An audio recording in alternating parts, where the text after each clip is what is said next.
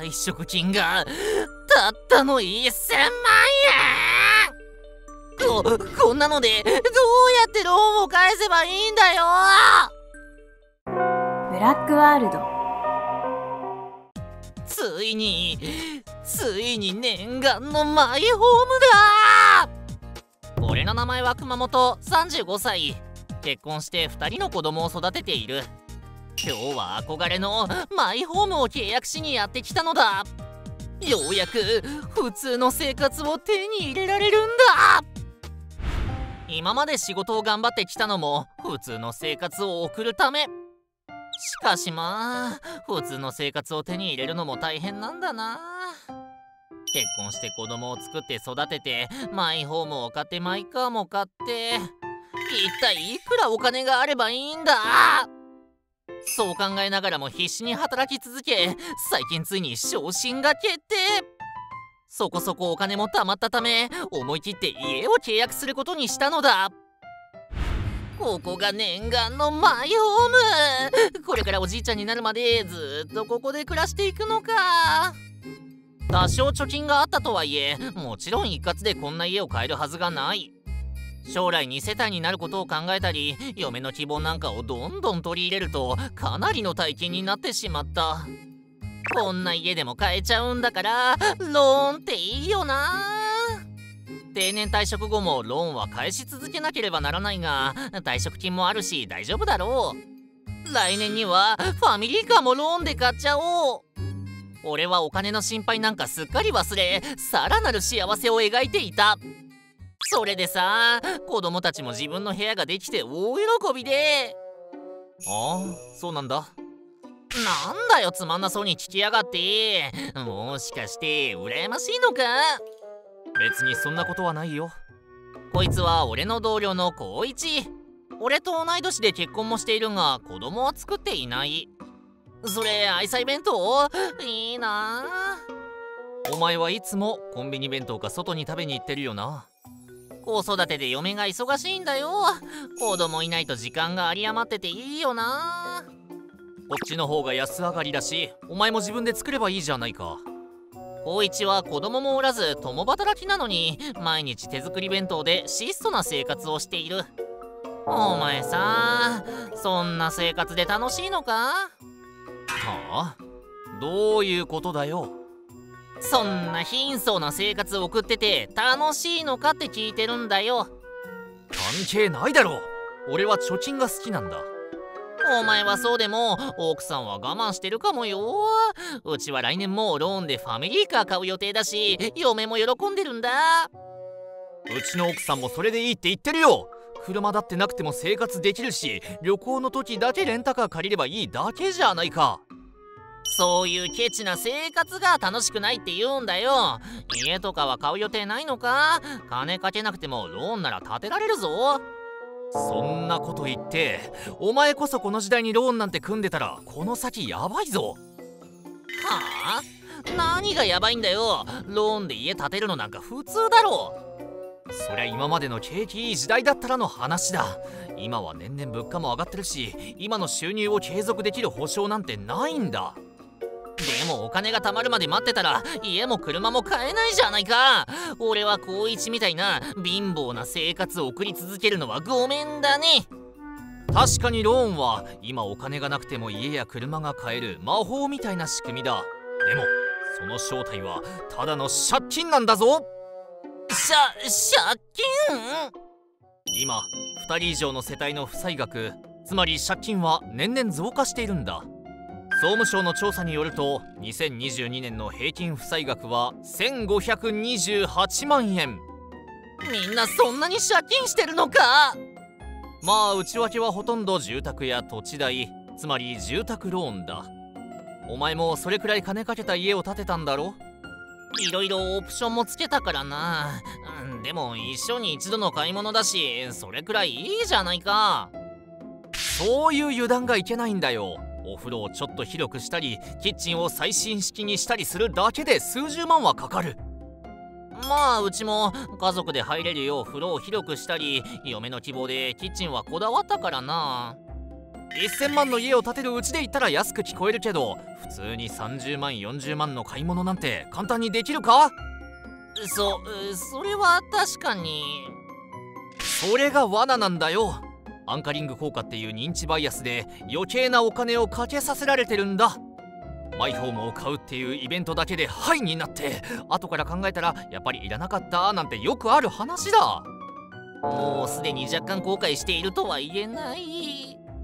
それに家のローンだって一体いくら払うんだ。だいたい収入の3割くらいがちょうどいいって。それも営業の人に乗せられるまま契約したんだな。いやでもその方が家賃を払うより安いしみんなそうしてるって。それも営業の口車にうまく乗せられているんだ。例えば年収が700万あったとしたらローンは1年で210万円うちもそれくらいだけど差し引いても年間490万円も残るじゃないか。いやいや年収が700万円でもそこから社会保険料やら厚生年金やらもろもろ差し引かれて手取りは500万ちょい。じじゃあそこからローンを差し引いて。自由に使えるお金はたったの300万程度だ。お前のところには子供が2人もいるんだろう。しかもこれから塾とか進学とかどんどんお金がかかってくる。いやでもこれからも収入は上がるはずだし嫁も子供の手が離れたらパートとかしてくれるし。でも生活はカツカツになるだろうな。ファミリーカーなんて買ってる場合じゃない。いやでも車もローンにすれば。まだそんなこと言うつもりか。持ち家でも住宅ローンがある世帯は平均的に貯蓄1132万円に対して負債は1818万円すでに700万近い赤字がある状態なんだ。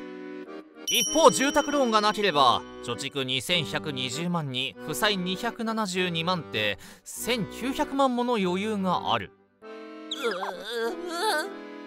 今すでにこんな赤字の状態でさらに借金してまで車が欲しいのか？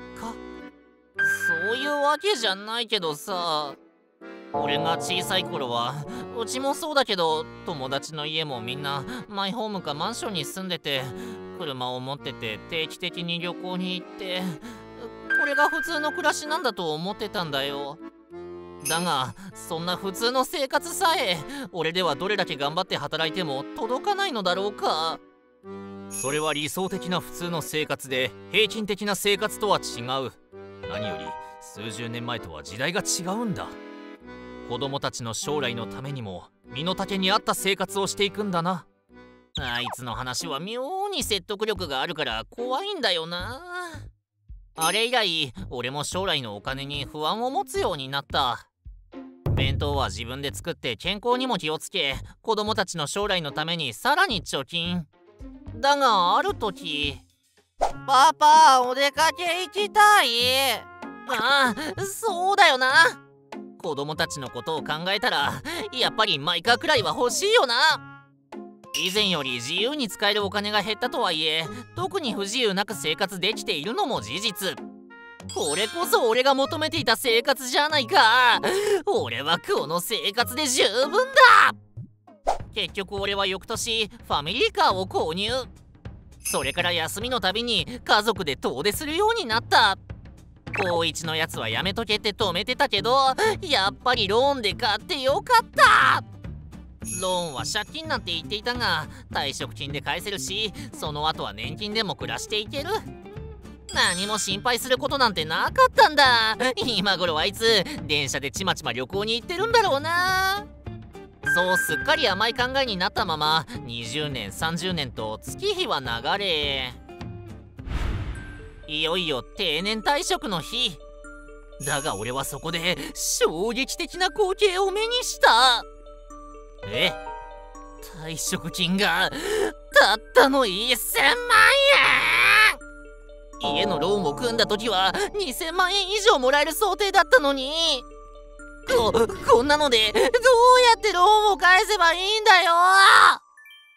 さらに不幸は止まらず。年金もたった3万円だけ。前は7万円くらいもらえるはずだったのに。退職金も年金も想定の半分以下。なんだかんだローンを返せるだろうという甘い考えはあっさりと崩れ普通の生活を送ることすら難しくなってしまった。少しずつ貯めてきたお金も1年で底を尽きたがまだまだローン地獄は終わらない。家族のためにもバイトしないとなでも最近まともなものも食べられてないし体も弱くなってきてる力仕事する元気もないな定年退職してから収入がガクッと減りボロボロの生活を送る羽目になってしまったそん。な生活を送りながらもようやく見つかったのが深夜の警備バイトだが寒くても暑くてもずっと外に立っていなければならず体力的にも精神的にも限界だった。ああれってもしかしてそこで不意に見つけた高一夫婦の姿。給料も退職金も同じはずなのに清潔な服を着て楽しそうに歩いていた。そんなみっともない姿高一に見られたくない。だがそうやってこそこそ隠れている自分の姿を俯瞰するとあまりにも情けない。ああ俺はどうしてこんなことに？理由なら分かっている。身の丈に合わないローンばかり組んでいたからだ。あの時高一の忠告を聞いて考えを改めていればよかったのに。俺はただ普通の生活が送りたかっただけなのにな。まで見たお主らは見込みがあるチャンネル登録をしていくがよい。